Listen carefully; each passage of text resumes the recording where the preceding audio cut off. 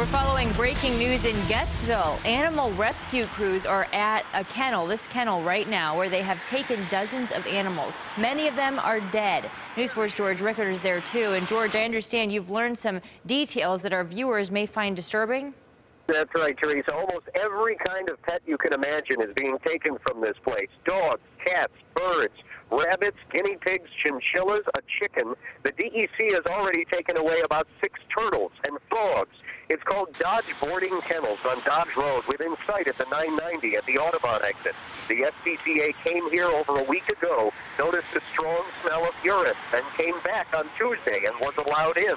The SPCA decided quickly the animals are not being cared for properly. A total of 77 live animals are being removed, and they have found at least 40 dead animals frozen in freezers and labeled from as far back as 2011. We will have much more on this on News 4 at 5. Reporting live on Dodge Road near John James Audubon Parkway in Getzville. George Rickard, News 4 at noon. George, thank you. Right now we want to turn to the weather today.